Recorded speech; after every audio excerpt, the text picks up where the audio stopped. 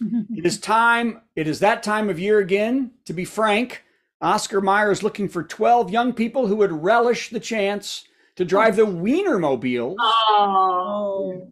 for a year of trying to catch up with hot dog lovers around the country. Oh. A passion for hot dogs is a mustard, Oh, oh gee. and you got to know how to get out of a pickle.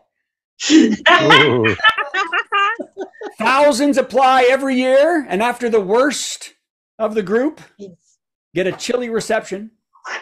The rest fight a wiener take all competition to spend the next 12 months working their buns off. You must apply on their website. Everybody out there, this is a true thing.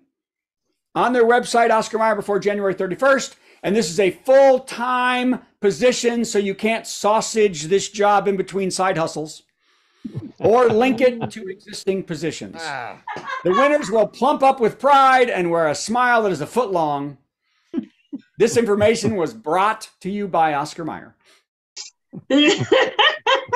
Are you almost bun?